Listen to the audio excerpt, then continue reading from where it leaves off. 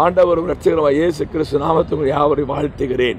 தேற்று வார்த்தை நிகழ்ச்சிக்கு நானும் என் அன்பு செய்ய இணைந்து காத்திருந்த போது வேற்று அருமையான வசதி கருத்தை காண்பித்தார். சங்கீதம் முப்பது ஒன்பது பின்பகுதியை வாசிக்கிறேன். கர்த்தாவே நீர் எனக்கு சகாயரா இரு என்று சொல்லி. நம்முடைய தேவனுக்கு பெயர் உண்டு அவர் சகாயர். ஆண்டவர் சகாயர் என்று சொன்னால் உதவி செய்ய பொருள்படும் ஏற்ற காலத்தில் சகாயராயிருப்பார். இக்கட்டிலே சகாயராயிருப்பார். நெருக்கத்திலே சகாயராயிருப்பார். இல்லாமலே சகாயராயிருப்பார். சோதனத்தில் சகாயராயிருப்பார். ஆபத்து காலத்திலே சகாயராயிருப்பார். கஷ்டத்தில் சகாயராயிருப்பார். எனக்கு சகாயம் யாருமே இல்லையா? உங்கள் இருதயம் கலங்க வேண்டாம். கஷ்டமான நெருக்கமான சூழ்நிலை இருக்கிறையா? வானத்தை உயர் படைத்த கர்த்தர் உங்களுக்கு சகாயம். நிலைமையில் இருக்கிறையா? அவர்தான் உங்களுக்கு சகாயம். தீர்க்கதரிசனமா சொல்கிறேன் இன்றைக்கு வானத்தி பூமியும் படைத்த கர்த்தர் எடுத்தது சகாராகின கர்த்தனுக்கு சகாயத்தை அனுப்பி உதவி செய்து உங்களை சந்தோஷப்படுத்த வல்லவராய் இருக்கிறார் பிரார்த்தனை செய்வோம் தகப்பனே சகாயரே காலை ஜெபிக்கிற ஒவ்வொருவருக்கும் சகாயம். ஒவ்வொருக்கும் சகாயம் செய்து உதவி செய்யும் சாட்சியா நிறுத்து கிறிஸ்துவின் நாமம் ஆமென். கர்த்தர் சகாயராயிருப்பார் God bless you. God bless you.